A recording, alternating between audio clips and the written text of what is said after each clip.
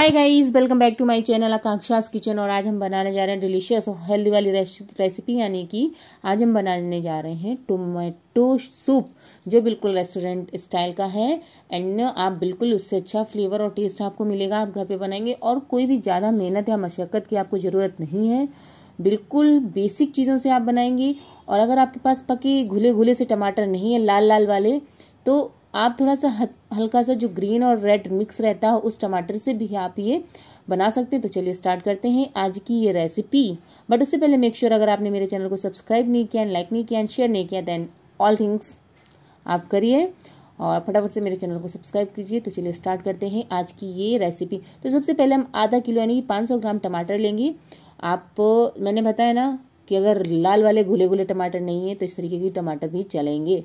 तो आप इस तरीके के ले लीजिए। आधा किलो हमने टमाटर ले लिया उनको इस तरीके से धो से धो की काट लिया। फिर दो हरी मिर्च ले ली। फिर मैंने ले लिया है ये खाने वाला नमक as per taste starch powder and sugar आधा टी स्पून एंड हींग आधा टी स्पून एंड लहसुन चार से पाँच कली एंड काली मिर्च पाउडर बहुत ज़रूरी है। सूप बनाने के लिए और इन सारी चीज़ों के बाद हम लेंगे एक कढ़ाई या फ्राई पैन। उसमें हम एक चम्मच घी, देसी या फिर बटर सॉल्टेड वाला आप ऐड कर सकते हैं। फिर उसमें हम डालेंगे लहसुन और हरी मिर्च। ऐड करेंगे। और आप चाहे तो टमाटर की पहले प्योरी बना सकते हैं देन आप उसको इस तरीके से फ्राई कर सकते हैं तड़का लगा के। बट मैंने पहले फ्राई कर लिया है, बाद में इसकी प्योरी बनाई है। तो फिर टमाटर को डाल देंगे और इसको हम अच्छे से कुक कर लेंगे, यानी कि अच्छे से खूब मैश हो जाएगा इस तरीके से। हमें इसको इसमें कुक कर लेना है। तो चलिए फटाफट से ये काम हम ख़त्म करते हैं अपना। इसको कुक कर लेते हैं। फ्लेम आप मीडियम रखिए। और ऐसे बनाने का थोड़ा सा मेरा जो लॉजिक था वो ये है कि इस तरीके से हम बनाएँगे तो जो फ्लेवर और टेस्ट है वो थोड़ा सा और इनहेंस होकर आएगा। तो मैंने थोड़ा सा इस चीज़ को प्रीफर किया है। बट अगर आपके पास टाइम नहीं then you can make puree आप पहले बना सकते हैं और बाद में उसको फ्राई कर सकते हैं। तो इस तरीके से देखिए मैंने आप आप देख रहे हैं, जैसा कि मैंने इसको पहले अच्छे से इसे पका लिया है कुक कर लिया है। कम्प्लीटली कुक कर लिया हाफ़ कुक भी नहीं किया है। और देन इसको थोड़ा सा हम ठंडा होने देंगे। तो जब ये ठंडा हो जाएगा, तब हम इसकी बनाएँगे प्योरी और ग्राइंडर जार में ले लेंगे फटाफट से इसका हम एक अच्छा सा फाइन पेस्ट रेडी कर लेंगे। इस तरीके से।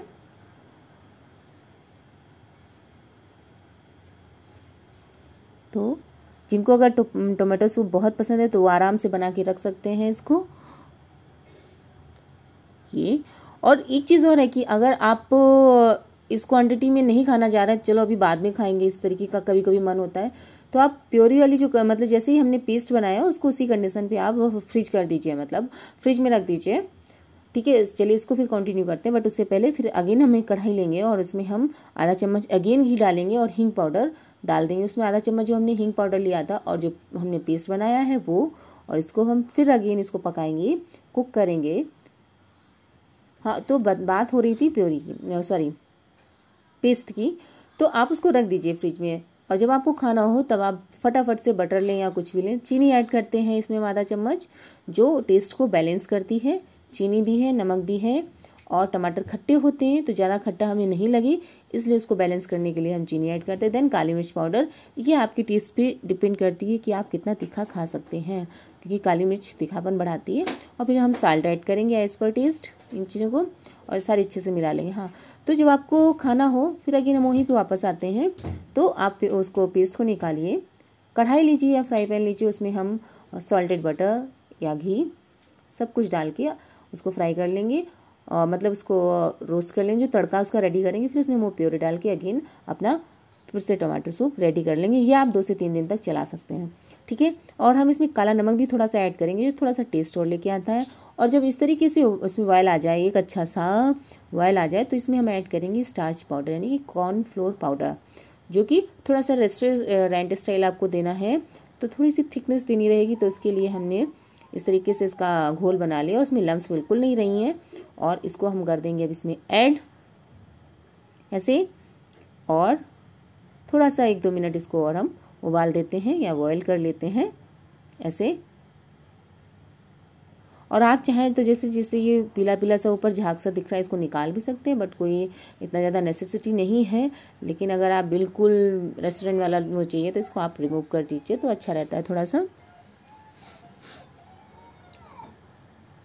तो दोस्तों, सर्दियों में तो गर्मा गर्म सूप बहुत अच्छे लगते हैं तो ये हो गया रेडी आपका सूप। तो चलिए सर्व करते हैं, देख रहे हैं कितना अच्छा डिलीशियस और टेस्टी सूप रेडी हुआ है, ठीक है? और अगर आपको नमक कम ज़्यादा लगे तो आप ऊपर से भी ऐड कर सकते हैं नो डाउट गर्मा गर्म अपनी फैमिली को सर्व कीजिए। तो ये है ultimate homemade tomato soup. तो आपको रेसिपी कैसी लगी? आई होप आपको मेरी ये रेसिपी पसंद आई हो। तो बिल्कुल यार, फटाफट से सब्सक्राइब कीजिए चैनल को अगर नहीं किया आप मेरे चैनल पे नए हैं।